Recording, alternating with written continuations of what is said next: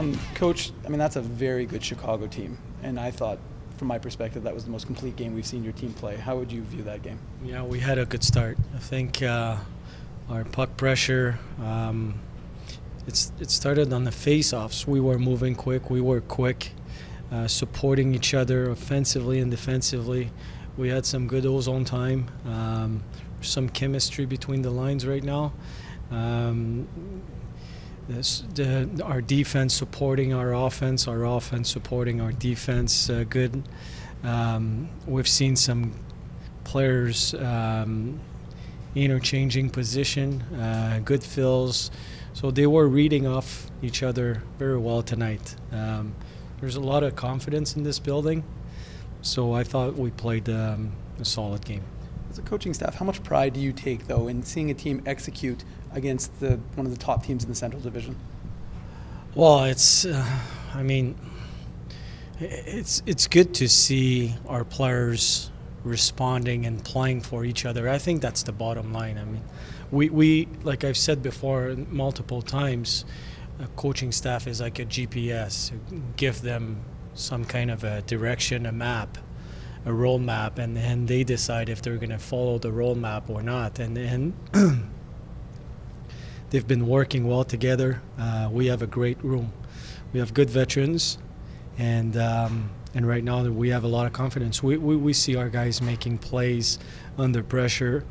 We see our younger players, first year player, getting uh, more comfortable. Uh, so gives me a chance to play four lines. Um, so it's good to see them performing like this.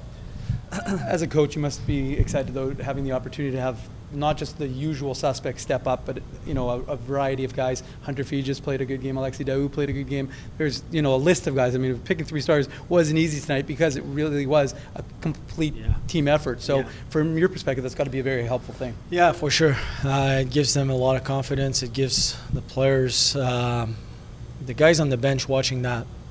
Uh, watching those guys perform like they did tonight um, gives us a lot of confidence. Um, I thought McLeese was really good in the middle. He didn't play much as a center in uh, um, in Jacksonville, but he's a smart player, and uh, for him to contribute offensively, I've liked Hunter Fejes' game for a while now. His, his game is growing on me. Uh, I understand how he moves now. Um, he's got tremendous speed. He's he's he's on the puck. Um, he knows his routes very well. so I, I feel we have four lines, then we can play four lines 60.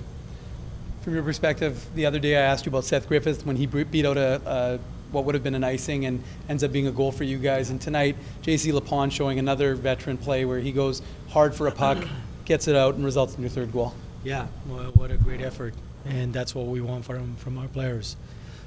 that's what we expect from them to work hard. And uh, they've done a good job. What did you see from Jimmy Oligny, who plays his first game in a month, and Sami Niku returns from the Jets? Um, Jimmy has a physical presence out there. I think he's well respected around the league, um, well, and he deserves to be respected. And he brought that. Uh, I felt uh, it felt like he didn't miss a game.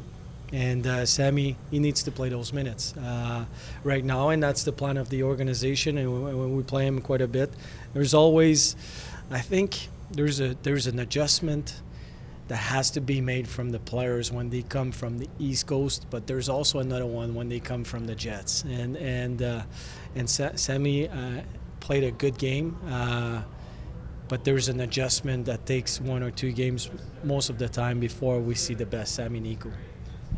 You have a game against these guys coming up on Friday night. How much is your game plan going to change, or are you going to stick to a lot of what we saw tonight? Because as far as I could see, that's as close to a perfect game as you guys could play. Yeah, well, I'd like to keep uh, this. I'm not sure. I'd like to keep the final result for sure. Uh, but other than that, we'll we'll look at the video. There's a few things I think we can do better, um, but in general, um, the intensity was right. And when you have that, you have a good foundation. Just wanted to ask about physicality and how big of a key that was to helping you find some offense tonight. Well, I thought I thought we were on the puck, and that makes a difference. Sometimes you don't need to be that physical when you're on the puck like we were tonight, but we had some good hits for sure, uh, and that's part of our game plan. Uh, um, slow down a team like Chicago that can produce offense like they do. They can. Even at 3-0, 3-0 you're never totally com- comfortable against a team like this. So we need to stay on the puck and and and we ask all of our guys. Uh, it's a physical game. We want them to play physical with a purpose. Uh, if you can get the puck, uh, get the puck. If not, uh, finish your finish your man and then create a loose puck. So, but it's um, there was some good hits tonight, but I didn't feel it was a necessarily a hard physical game. It was a puck possession kind of game. What about speed for this team? Seems like you guys are getting faster as the season goes on. A lot of odd man rushes tonight. Yeah, um, we're moving the puck faster, so we look faster, and, and uh, we understand a bit more what each other are doing, what we're doing on the ice. So there's some synergy out there uh, offensively, and so we can move the puck quicker and faster, and the execution is better. But it, we look faster. We're not necessarily a faster team, but we look faster. We play quicker, uh, but we're just moving the puck just faster. I just have one more from me. Uh, Tucker Poolman, I think, has played the most straight games in his pro career at this point with 14. Uh, it's a development league, and how are you seeing that pay dividends for him? Well, it's it's a matter of uh, confidence. In this case, he's a good player. Uh, he's a good man. He does everything right. Uh, he's a great teammate. So it's it's a matter of playing those games um, consistently and, and uh, playing those minutes, um, power play and penalty kill, and playing against top lines. So he builds a, a strong. Um,